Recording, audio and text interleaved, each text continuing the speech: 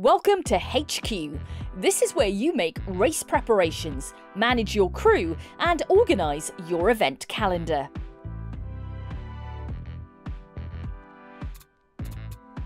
Use the calendar to select the different events that you want to take part in. They will help you prepare for the official championship.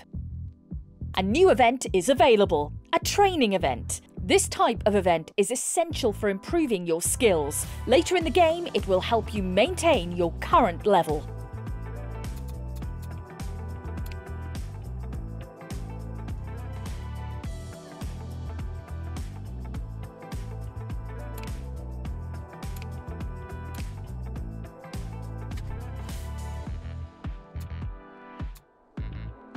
Welcome to the crew management area. This is where you can manage crew members.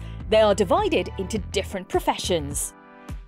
Each type of profession has its own specific skills. The skill level varies according to the rarity of the crew member. They also have a form gauge that decreases from event to event. To increase the physical form of a crew member, you can place them in the reserve or schedule a rest event. Use the recruitment interface to recruit a crew member. Work contracts last one year. But be careful, members offered for recruitment are not available indefinitely.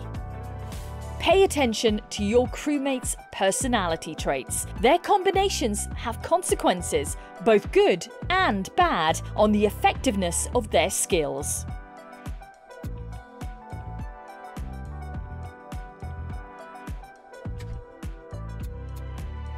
There are several types of objectives season objectives and short term objectives. Both types help to improve your relationship with the manufacturer. Your season objective is on the left.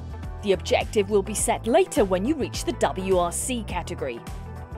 On the right is your manufacturer reputation. It represents how good the relationship is between you and your manufacturer. The lower your manufacturer reputation, the greater the risk of being dropped from the team.